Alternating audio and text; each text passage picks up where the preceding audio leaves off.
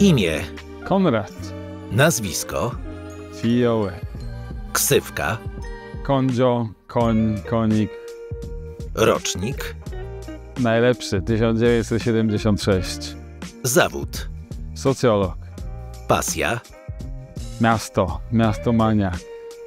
urodzony W Rzeszowie oczywiście i wychowany, wykształcony i tu spędziłem całe życie. Szkoła średnia, Pierwszy, przepraszam, pierwszy, bo y, zawsze uważałem je za numer jeden, ale oczywiście numer czwarty, czyli czwarte liceum ogólnokształcące. moje osiedle, Urodziłem się na Kmity, ale wychowałem się na Nowym Mieście, tak więc jestem chłopakiem z obu stron rzek. mój numer autobusu, E, chyba teraz najbliższy mi jest e, dwunastka, ale do średniej szkoły na przykład jeździłem jedenastką. Ulubione miejsce w Rzeszowie, To zawsze chyba będą jednak bulwary. najlepszy smak w Rzeszowie, Najlepszy smak Rzeszowa. No przede wszystkim chyba jednak proziak, choć to jest trochę szersze, bardziej regionalne danie, to typowo rzeszowska potrawa, rzeszowski przysmak, którym, który, że tak powiem, promujemy Rzeszów i pokazujemy gościom z zewnątrz. inspirujący Rzeszowiak, Na pewno dla mnie inspirującym e, rzeszowianinem był zawsze i będzie Tadeusz Nalepa.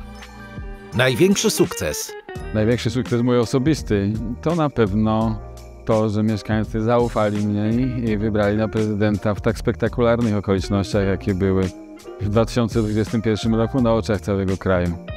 największa porażka, Największa porażka e, to zapewne jest e, e, to, że nie udało mi się e, z, napisać doktoratu profesora Popeckiego. Zawsze mnie namawiał do tego, zawsze się na to umawialiśmy, a mnie wciągnęła działalność społeczna, a potem niestety profesora już zabrakło i, i tak na to patrzę chyba. miasto, które zrobiło na mnie największe wrażenie, Myślę, że najbliższym mi sercu jest y, Barcelona, pewnie trochę Paryż, y, ale tak pod kątem właśnie e, bycia miastem nowoczesnym, miastem podążającym za trendami i mającym fajną jakość życia jednak Barcelony. trzy największe plusy Rzeszowa, Czy największe plusy? Przede wszystkim e, to, że jest miastem kompaktowym, jak ja często powtarzam, czyli nie za dużym, nie za małym. Z jednej strony nie za małym, bo e, ma wszystkie najważniejsze usługi, czy też ofertę dla mieszkańca, jaka, jaka, jaką powinno świadczyć duże miasto czy metropolia, a z drugiej strony właśnie nie jest za duże, czyli nie ma tych wszystkich trudności, jakie wiążą się z mieszkaniem w dużym mieście. I to jest podstawowa nasza zaleta. Druga nasza zaleta to zieloność. Mamy e, 1 350 tysięcy drzew, e, mamy e, największy wskaźnik ilo- ilości terenów zielonych i drzew na głowę mieszkańca. To pokazuje, że jesteśmy wspaniałym, e, zielonym miastem. No i przede wszystkim jesteśmy miastem nowoczesnym, gdzie funkcjonują e, najnowocześniejsze firmy wysokotechnologiczne, jak chociażby te związane z przemysłem lotniczym, czy te z przemysłem informatycznym. E, Także to jest, są trzy nasze cechy.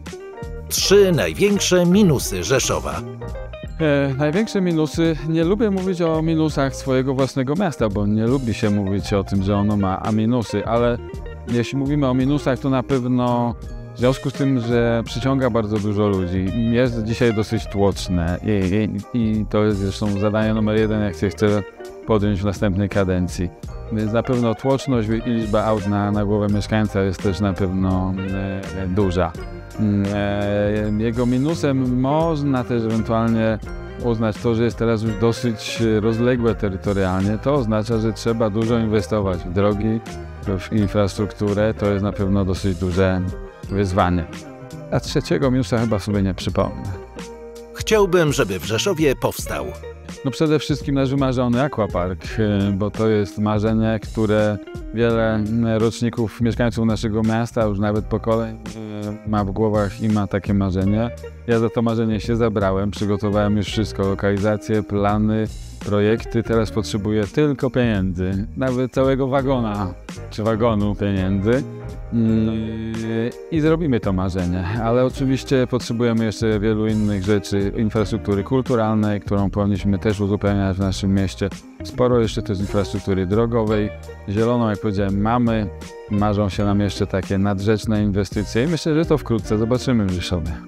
Jeśli nie Rzeszów, to No więc e, dla Rzeszowa faktycznie alternatywy nie widzę, ale jeśli miałbym gdzieś spędzić miło czas, choć przez chwilę, to na pewno miasta nadmorskie, chociażby w Polsce Sopot. Natomiast na dłuższą metę tylko Rzeszów.